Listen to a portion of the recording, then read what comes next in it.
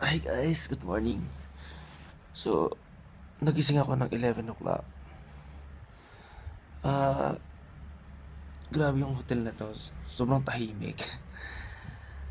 Kaya, hindi siya kasi ganun ka-crowded. So, as in talagang, if you really wanted to rest, okay yung place na to.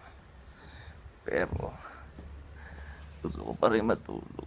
Ito pala, ah, dinala ko yung ano, yung sombrero ni Kuya Tom. Ito kasi yung design niya na may buhay sa Dubai. So, dinala ko dito. And then now, I'm preparing for the breakfast. Actually, I saw you inside. Malaki yung restaurant nila doon eh. But then they're still fixing it. So, I will try to go inside. Okay, uh, sa, sa hotel na to, free breakfast siya. So, since this is my first breakfast meal, meron silang boiled egg. And then meron silang ang bread. Wow. Alright, this is soft. I'll try that. Okay, ah kaso lang, medyo hirap sila mag-English ng konti. Kaya when I ordered for a cafe latte, ang binigay sa akin mukhang Amerikano. Gidesin çıkar.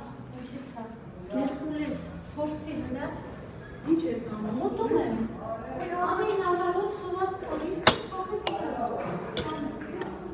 Hindi ko sila naiintindihan.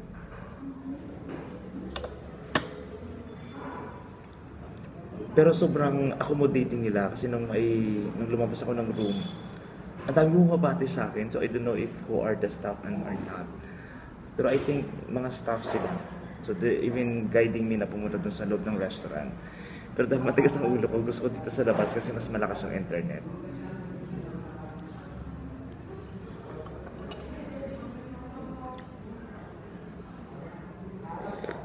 Okay, so one word na natutunan ko dito sa kanila is they don't call the place hotel.